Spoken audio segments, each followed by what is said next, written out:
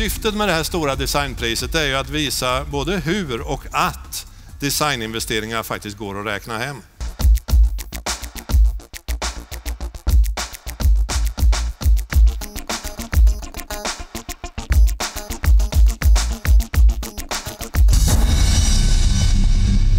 Ja. Aha, en Trabec cykelhjälm.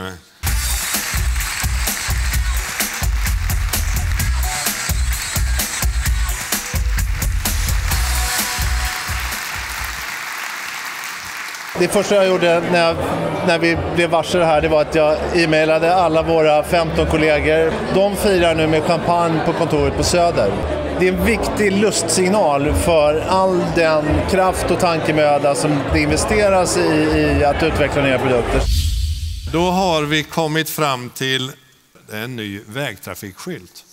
Alexandra Pascalido, du är varmt välkommen. Och vad är det nu som du har hittat på?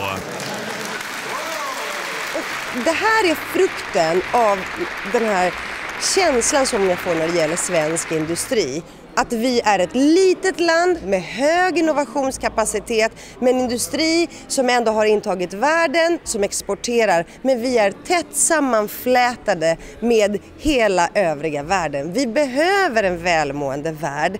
Vi behöver också den mångfalden som finns i svensk industri, alla de hundratusentals människor som också har rötter i andra länder, som har invandrarbakgrund och som har bidragit med svett och med tårar eh, och, och, och, till den svenska eh, framgångssagan.